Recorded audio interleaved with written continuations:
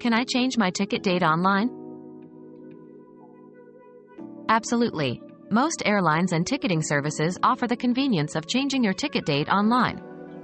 Simply visit the airline's official website or use their mobile app, locate the Manage Booking section, and follow the prompts to select a new date for your journey.